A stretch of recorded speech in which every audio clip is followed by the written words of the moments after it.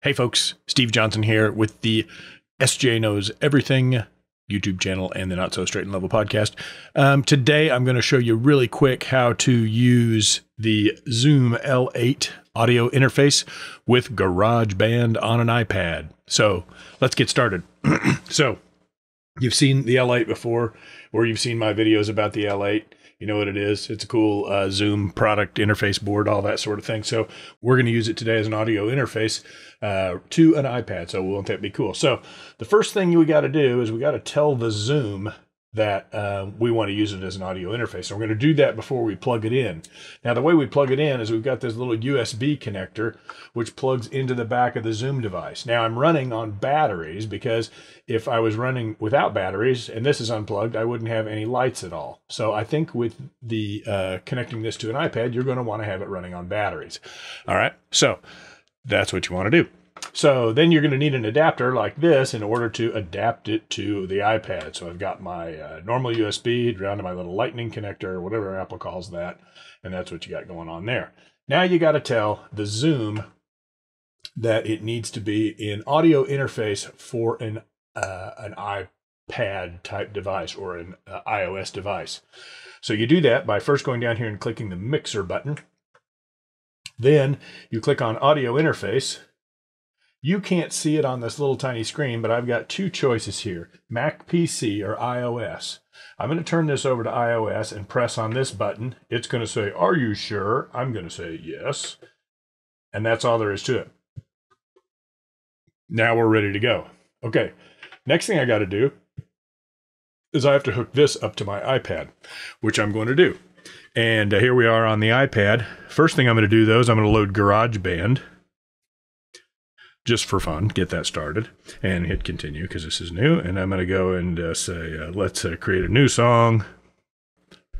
So the first thing we're going to do after we open GarageBand, we want to choose audio recorder. Okay, so I picked that. Now what I'm going to do is I'm going to plug my little deal into the side of my iPod right here like this. Okay. And what you'll find out is that in a minute, you're going to get this little pop up like this right here that says, You have plugged in an electric guitar or microphone. In order to hear yourself tap, you must turn on monitoring. So that means it's recognized the, the LiveTrack 8. So I'm going to hit turn on monitoring. Now I've got that going. I don't know what all this little circle of stuff is here, but down here in the lower right, you'll see that it says channel 1, right? I'm going to click that.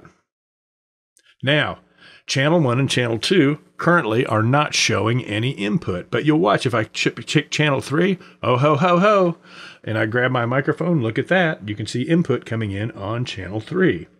Now that doesn't make any sense because I've got my microphone plugged into Channel 1. Well, the way this interface works is that channels 1 and 2 on the iPad are actually the master output of all of the channels mixed together. So if I go back to channel one now, and now I turn up the master output, you will see that when I talk into the microphone, I'll get that. So that would give me the output of all of these channels mixed together coming in on one and two on stereo. But that's not what I want to do today. So that means channel three is actually channel one by itself. And if I wanted to go over here and use one of these effects like on channel seven, that would be channel 9 and channel 10 because these are stereo tracks. Okay, so this is 9 and 10, this is 11 and 12. Does that make any sense at all? Probably not. But if I go pick this down here, hit my channel button again, I'm going to pick 9 and I'm going to hit one of these buttons here. You're going to see it's going to grab some input.